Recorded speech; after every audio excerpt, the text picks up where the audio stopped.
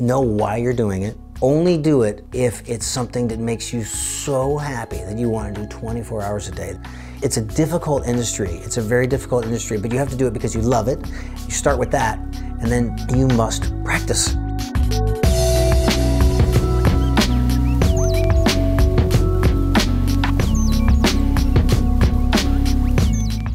Rich, I have known you for many, many years. Yes.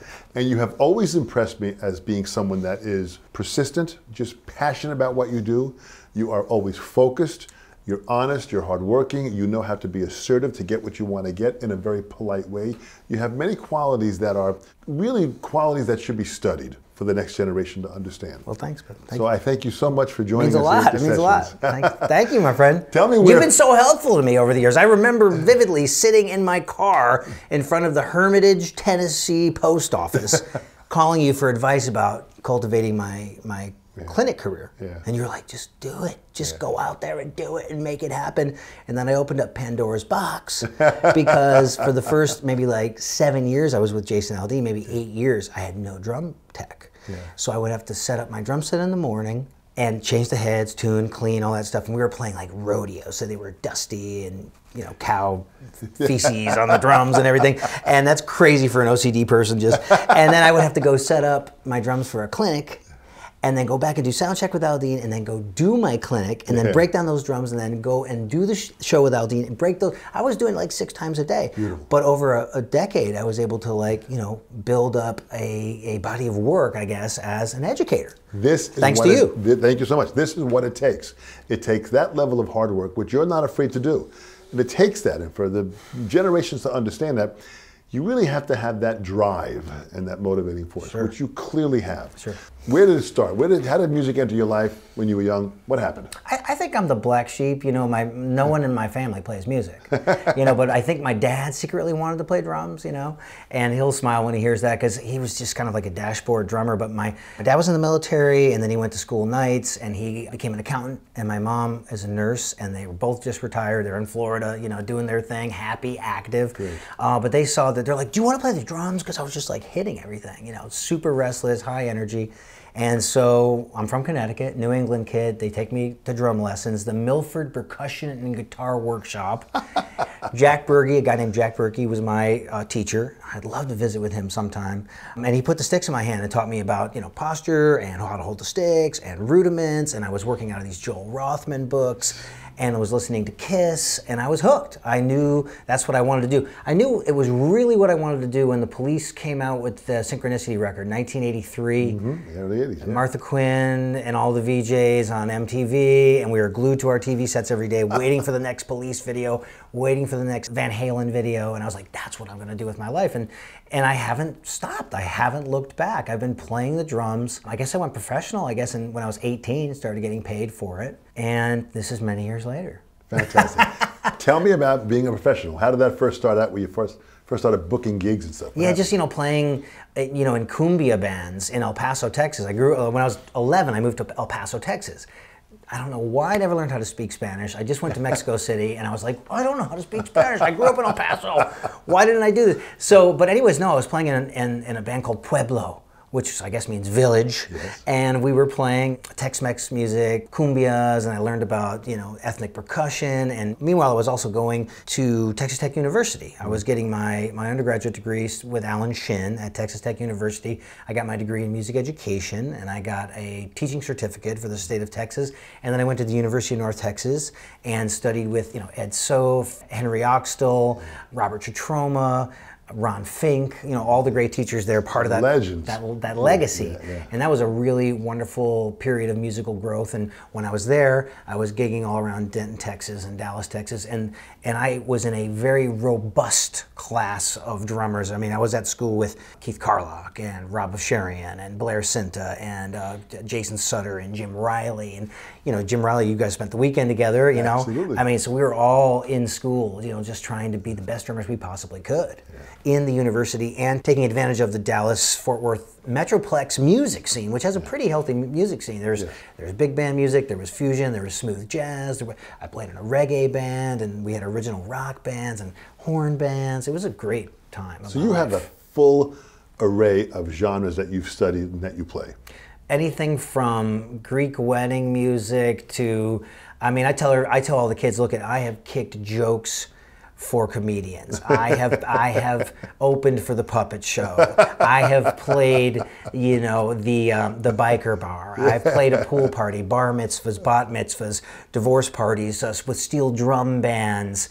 Anything you could possibly play. That's great. You know, you put that all that into your bag of tricks, and you become a like a snowflake. You know, because we're all snowflakes are all unique. They're all one of a kind, just like human beings are. You know, so we all we all may have the same influences. We all may listen to the same kind of music. We all may study with the same drum teacher. We're all going to come out sounding different. That's if you want to sound different. Yeah. That's a very important part to find that individual sound, which you have found. I mean, you really have you know found the niche of, of your Yeah. of your sound and, and style. which is a luxury. My original goal was to be able to just cover a lot of styles. Like someone say, "Here, you know, here, boom, here, put a chart in front of you. This is uh, the Bourne Supremacy Two. Go." You know, I mean, or a, you know, a big band job or a cruise ship job or doing recording sessions where they go, "Okay, we don't have a chart. Well, let's I'll scribble out my own chart." So I just wanted to be able to cover a lot of styles, and I moved to Nashville. What Nashville taught me was, of course, studying guys like Eddie Bayers and Lonnie Wilson and Chad Cromwell and Paul Leim and uh, Greg Morrow and the, all these guys that were my heroes are now my friends and colleagues. I have their cell phone number. I go, let's get a martini, Eddie.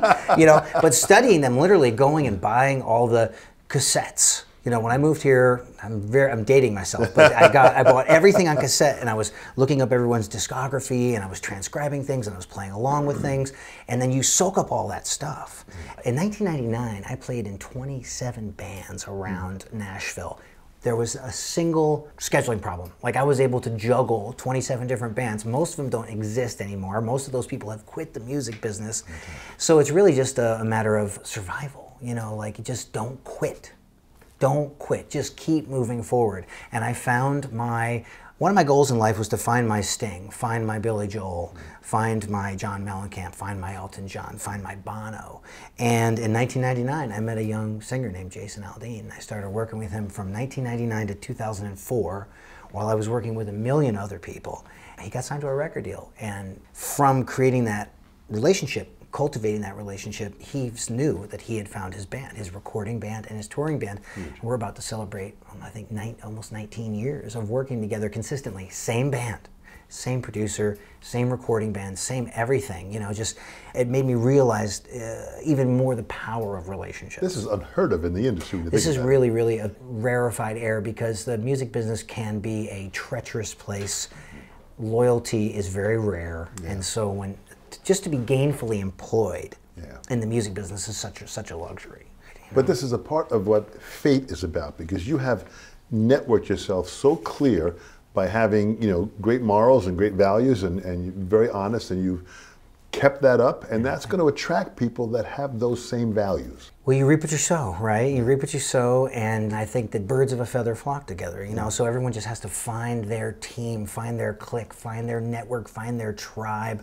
Call it what you want, but it's a people-oriented business, and it will always be a, based on people. The music business, I think, life, it's about people. You know, surrounding yourself with like-minded individuals and championing each other. And I surround myself with people that are very talented, and uh, if they have skill sets that I don't have, I, I'm the first one to pay them right away for their skill set. you know. But you opened the door in many areas because you also got involved not only in performing, but doing different sessions, some teaching. Yeah. You've authored, you know, books. I mean, so you have really a, a wider variety of how you reach this business-like or this entrepreneurial way of looking at the music industry. Sure. Yeah, I think we have to do that. And I don't know, even if we didn't have, say it was the, the golden age of music, the, the, the 70s, 80s, and 90s, if it was still that, I would probably still be doing all these things because I know that if I'm doing too much recording, I miss the visceral impact of uh, the immediacy of an audience and that, that style audience, of yeah, communication. exactly. I think I've always had a teacher's heart, you know what I mean? And I, I love teaching, and teaching reinforces what you do, and it just makes you better at what you do. And also, you know, I, I've, I've tried marriage twice, and I, I don't have any children, but I, one of the ways that I feel like I can give back to the universe in the world is to teach. and I can teach kids and share my experiences, and then they go home with their parents. um, but I just I, I, love doing that, and I just I think it's a, about like not putting limitations on yourself and defining who you are. Because when I moved to Nashville, it was a really clear line in the sand. You are a recording drummer or you are a touring drummer, and mm. I said I will not buy into that mentality. Mm my touring work will feed my recording work and my recording work will feed my touring work. And thank god i took that philosophy because now there's a lot of recording drummers in nashville that would never have thought about going on the road but because of the state of the music industry and the economy and just wanting to, to continue staying relevant you have to get on the road a little bit. Absolutely. you have to go. So i'm wearing both hats and then doing the education thing and then uh, realizing that we're in the entertainment business so I'm trying to, it now in my midlife, I'm trying to reinvent myself a little bit and go into some other areas of the entertainment business, which are really fun. And then what's great is I take a little break from the drums, and then when I get back to the drums, it's so much more meaningful. Like, oh, I missed you girls. Talk you know? about that. Talk about the fact that, that you're widening your range because you know being a musician is you know we're artists. It's a full time commitment. Might, that might lead into acting. That might lead into dance. It's all a part of the arts. I mean, there, you know, Ronnie sure. Tutt was a tap dancer, and he was talking about and, how he tap danced. Yeah, right. all these great, great yeah. drummers. Talk about what, what, what your next adventure is with uh, what you're doing. Well, I think that the, you know the idea of being an author and a host and an MC and a voiceover artist you inspired me to do these things because you have this whole other the kids like to call it a side hustle now where you're a brand ambassador and you're an educator and then you get called a lot to host events and yeah. there's charity events and was, I've, I just noticed that from teaching all doing all my clinics that I'm very comfortable with the microphone I was like I was like you know what why don't I just put myself out there? Let them Absolutely. let the world know that I'm willing to do this. Right. And I think one of the ways you can attract success to your life is just to let the world know what you want to accomplish, and doors will open, and people want to help you. This is the power of intention. Yes. When you put that out, you let that know. But it's happening. I've seen some clips of you doing some acting stuff. I've yeah. seen you really involved in in pushing yourself to a, different level. I think that's absolutely fantastic Thanks, that you're, that you're putting yourself on the edge of constantly learning. And that's really what the game is. Continuing education. You know, continuing. I just took a uh, improv comedy class in Hollywood from the Upright Citizens Brigade. This is Amy Poehler and Tina Fey's school. Yeah. Everyone that's there is either a professional comedian or is a professional actor or is, is in the arts and they just want to study improv. So here I am, I'm in this class and there was, my classmates were from like five countries and they're all professional actors and you just have to jump in the water, the deep end of the pool. Blood is in the water, sharks are swimming, and that's where you want to be. Yeah. And I grew so much in like four days. Uh, I think anybody in the world that does anything should take an improv comedy class because it teaches you about relationships, and seeing patterns, and it teaches you about teamwork and it teaches you to be absolutely fearless because as drummers we are surrounded by a set of drums it's almost like a protective barrier absolutely. when you take an improv comedy class there is an audience member that is five feet away from you, and you literally have to make something out of nothing. and you very well can fall flat on your face. It's almost like jazz improvisation. Well, that's why I said the creative process, you already have that. When you're, when you're given that, that seed, all you're doing is you're watering it and you're allowing it to go in different directions, which yeah. is fantastic to experience. So, are you able to take some of your musical experience into that improv? I think so because you know we have rhythm, and as musicians we're trained to listen and interact. And being in a band, there's no higher form of teamwork, yeah. right? And also a lot of these concepts that I learned uh, about from being a touring drummer, being a session drummer, and being a an educator. I bring that to my keynote speeches because mm-hmm. those same patterns are there as well. We talk about you know, my philosophy for successful living that I call CRASH, commitment, relationships, attitude, skill, hunger. Now this is a, a success philosophy that can work for a five-year-old, it can work for a soccer mom, it can work, work for the next person that wants to walk the moon, right. the next, I, I, tell people, it even works for bass players. I tell my bass player that all the time, and he's, he's like, really, Rich? Um, but, uh, and it might not also. And then the so. bass players tell the drummer jokes, right. and it's like, but no, it, it's just a big love fest, the fact that, you know, we're going out there and we're communicating on the highest level. I think music is one of the highest forms of communication, the highest forms of expression. Yeah.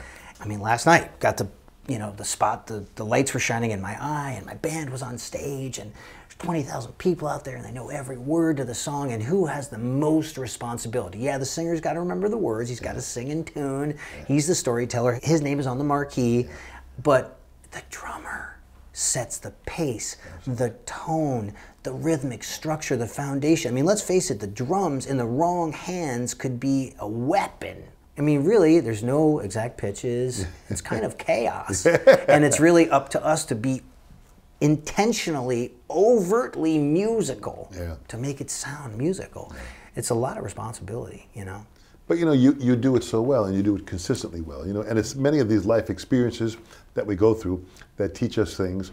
I want you to talk a little about a positive take you can pull out of the Vegas scenario. Yeah, yeah.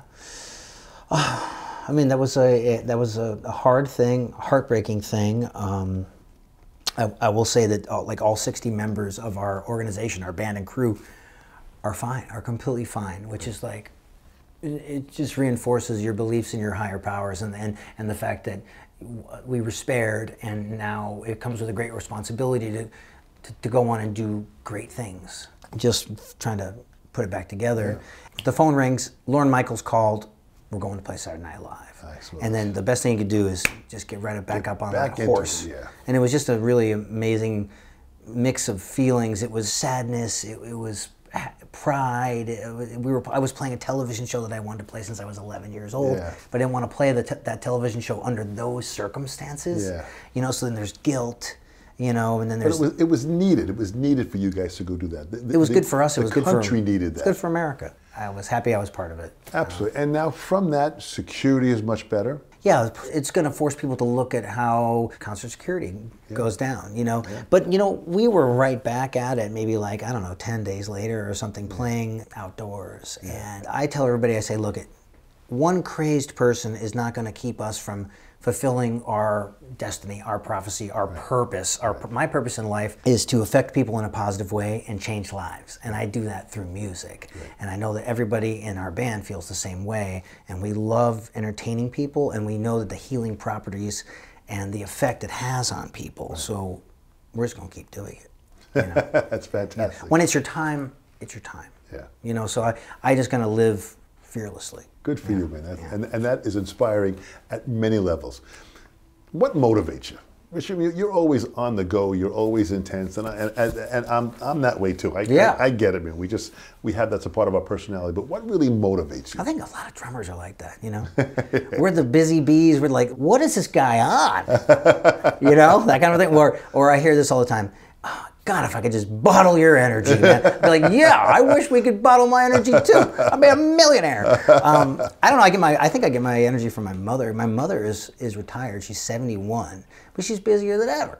She's in the pottery club and the line dancing club and the book reading club and the martini making club and she's got some more clubs and she just goes and goes and goes and she works out two and a half hours a day. She does yoga every day. She does body pump. I went to this body pump class with my mom. She's 71 years old. She's like pumping iron and she's just strong stock, you know. My parents were so encouraging, you know, and that's why when I teach, I like to tell the parents if the kid is interested in music, if they're interested in anything creative other than surfing the internet or playing with their phone or Xbox, like get on that. Like support them 100%. But what motivates me? I I go back to my purpose, which is to affect people, change lives, and affect people in a positive way. And I could do that through music and through drumming and through teaching and through speaking and those things make me happy. So it's this endless cycle. It's a cycle of self-empowerment you know? Amazing book you know? Um, we're the lucky few that really really love our job. How many people can say that? Maybe there's i don't know maybe there's a lot of people that love their job. But people are so intrigued by musicians because I don't know. When I'm on an airplane and they find out, oh, you're in a band, they're like, what's that like? And, and people just want to come backstage. I'm like, look, at backstage is like sweaty towels, road cases, two day old cheese. It's like there's it's not there's nothing back there that you want to see. Um, but there's a there's this mystique of being the musician, being a being a troubadour, traveling, waking up in a different city every day. But to do it at a high level, I mean, basically, I'm a side man, you know. So I'm my own manager, I'm my own publicist, I'm my own personal trainer, I'm my own F secretary, my own everything, my own social media. I, you have to do it. We're running a business, so the, the days of being a musician that just can sleep till noon and just hope for the it just doesn't exist. But this is a great entrepreneurial lesson because when you have a cup of coffee in the morning, the entire company wakes up. That's really what's happening. here. Talk about that. Talk about the business side. How do you balance the business side of doing all of that? Because you're wearing so many hats Yeah. and you're doing it well. How do you balance all Thank that? you, thank you. I tell people the days of being a a jack of all trades master. Basically, you have to do a lot of things and you have to master all of them. You know, it's like everything I try to do, I try to do at the highest level, and I and I there's a lot of pre-planning that goes into it. But if it's it's about being present, right? It's the, one of the greatest gifts we can give people in this modern age is a gift of our presence. So one of the first things I do if I go to a business meeting with somebody, if I can, I turn my face. I don't. I never have my phone on ring, or I never have a vibrate. It's listen, every time I look at my phone, it's like a gift. I'm just delightfully surprised, and I just try to get to, back to that person. With another person, I'll put that phone face down and give that person 100% of my attention. It's the greatest gift we can give each other in this crazy age that we live in. So a lot of pre-planning, but last night I was Jason Aldean's drummer, and so I was playing that role 150%. Monday, what's going on Monday? I might be playing a different role. I might be teaching some lessons and I might be doing a local gig around town where I'm somebody else's drummer and I'm playing that role. So whatever I'm in at that moment, I'm giving 150% to. So I acting is not that far away from really what you do or what any of us does. Well, you know what's really funny is that mm, I've been studying for like three and a half years now. I'm really passionate about it. I've had some great teachers, gone to a, tons of auditions. This is what I tell people. I was like, how many drummers can say that they drove to CBS Studios right there in the heart of Hollywood, had a parking permit, oh, right there, sir, went in through the Carol Burnett entrance and auditioned for one of the longest running soap operas to play the role of Alejandro. and it was really funny is that I got off the elevator and there was like 40 Alejandros. but I prepared. I had a great attitude. I had a firm handshake. I had a smile on my face. And I went in and I did. It's just like an auditioning for music. You give it everything and then you release it. That's right. You know, and you just release it to the acting gods, you release it to the music gods, and you move on with your life because you were going to find the right situation for you. But what I've realized in these three and a half years is I'm not going to be going for the parts where I have to wear the white wig and do a British accent and cry on cue. I'm going to do things that are, in my lane. I'm going to be playing a producer. I'm going to be playing a teacher. I'm going to be playing a drummer. I'm going to be playing the douchey friend next door. I'm going to play the fun husband, the cool uncle. You know, things that are basically an extension of my personality. Fantastic, fantastic. You know, as I travel around the world, you know, I travel globally at an intense pace, Yeah. and I'm in the U.S. and I'll meet a young drummer, and they'll say, I was at Rich Redmond's camp." Yes. And it's so exciting to hear their enthusiasm when they come by. Just talk a little about the camp and what you do with The that. camps, yeah. Uh, so for four years, I had this thing called my drummer's weekend, which is just a, an experience. Like really, life is a collection of experiences, right? So if we get up every day, we just have one amazing day, and we put that next to the next day and the next day, we're gonna have one heck of a life, right? so that's how I'm trying to live my life. And what I wanted to do is just get all of my famous drummer friends together and to teach a small group of kids. I never, I don't usually go above, I think like 22 kids. Like the most I ever had was 22 kids because we want to provide a white glove experience for the kids, something they'll remember for the rest of their lives. So they ride, they got a great hotel, they ride around in the limo, they have catered meals, and they get to hang around with their drum heroes. So I've got had guys like Kenny Aronoff and Thomas Lang and Liberty Yeah, and, Lib and, DeVitto, and yeah. Schulman and like all, you know, all, Troy Luccketta, the best drummers on the planet. And the prerequisite for teaching at one of these camps is that yes, you have to be a great drummer, but more than anything, you have to be a great person who is willing to spend time with younger people. Yeah. What's cool about the camps is that the over the four years, the people that have attended have created this this network and they're all lifting each other up and there's a facebook community and they're all championing each other and keeping in touch with each other and they're recommending each other for jobs and it's really cool. Now jim and our buddy jim riley is doing a thing where he's got a smaller group of kids and it's more intense. It's like one day and they just work all day. Yeah, and he yeah. goes your he goes rich your thing is more the hollywood version of it basically because I'll, I'll have a like every two hours I'll have there'll be something new. So I'll have like a rock drummer and then we'll do a hands thing and then we'll do a timekeeping thing and then a percussionist will come in and then there'll be a uh, then a, there'll be a rhythm section workshop. So over the 72 hours the kids are getting like it's basically a crash course where they're just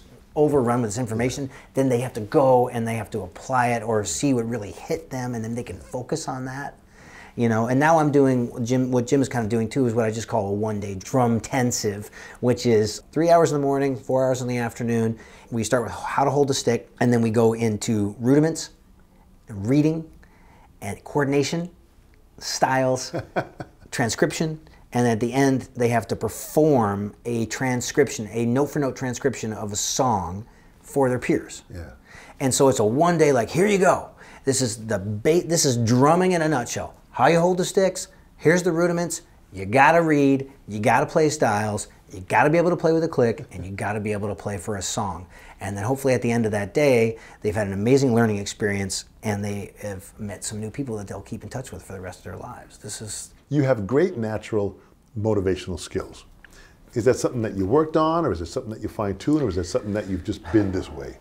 I read a lot of books. I mean, obviously, I, I, you know I reread all the Napoleon Hill books every year, all the Tony Robbins books, all of the Zig books. You know, these are these are our Zig teachers. Ziglar, yeah, yeah, You know, yeah, Wayne yeah. Dyer. You know, you soak this stuff up into your DNA, and that was really one of the first things I wanted to do with my drum clinics. I wanted to do a drum clinic that wasn't just like a 90-minute drum solo and then the limo picks you up outside, no questions. you know, I mean, because those kind of days are over. You know, there's only a couple of us I feel like they're really keeping the drum clinic alive.